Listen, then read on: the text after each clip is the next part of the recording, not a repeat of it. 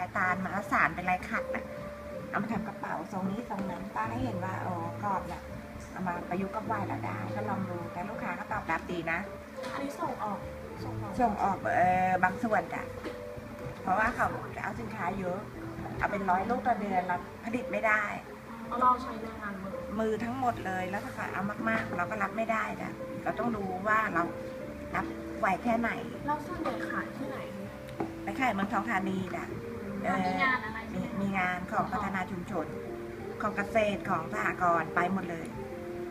ของธนาคารนะนะเขาก็จะแจ้งเรามาเราก็จะคนสินค้าไปขาย